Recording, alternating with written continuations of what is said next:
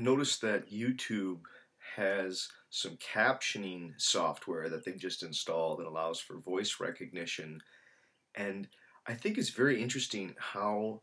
far behind voice recognition software is than visual recognition software. It's, it's really amazing when you think of how sophisticated computers are, what they're able to do, how you're able to do, for example, live time Skype, or how you're able to have live time recognition of of images. You know, I can move around here and people can see me moving. It's a it's a video recording, and the sounds can be recorded, but the ability of a computer to identify the particular sounds as containing the words that they do have in there. That to me is so interesting when you try to think about what happened to human consciousness when we learned to see sounds and when the human mind when when it learned to disambiguate the symbolic flow that just comes out of the mouth and to create discrete lexical units, these things called words that are identifiable and repeatable and the same,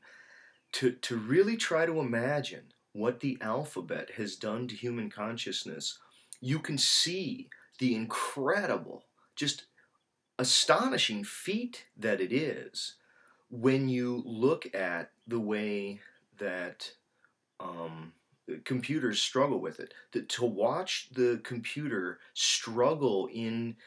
capturing what exactly is being said I mean, it's one thing to talk about the inability of people to understand one another. Even if you can imagine that the computer could accurately capture the particular words that you're uttering, in, in those cases, uh, we, we, still are going to grant that we may not agree with, or you may find uh, ambiguities, you may find uh, that certain words have overpopulated meanings, and that the still the assertions aren't clear or the claims aren't clear people disagree, they have different backgrounds, all this kind of stuff. It just seems really, really fascinating to watch the simple computer software struggle with something so simple as listening to the sounds or, or taking those sounds and then tearing apart the flow of sound into the particular words that are being uttered